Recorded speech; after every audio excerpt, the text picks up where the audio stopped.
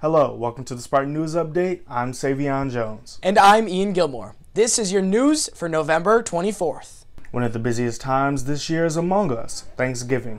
More than 50 million Americans plan to travel this Thanksgiving, defying the CDC's orders.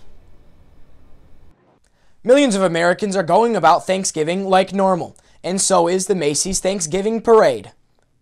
The Thanksgiving tradition in New York City will once again kick off from 34th Street Many safety precautions are being taken to make sure the parade is as safe as possible.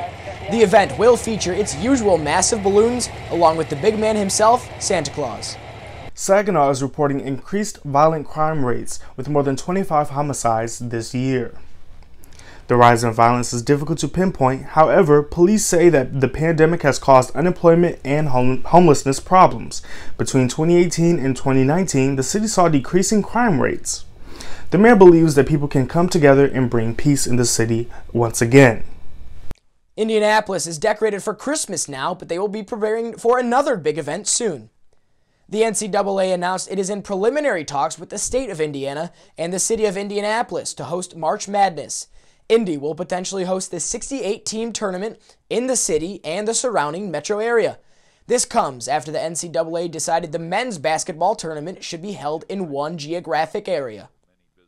That's all the news we have for you today. For more news, go to www.spartannewsroom.com. Thanks for watching.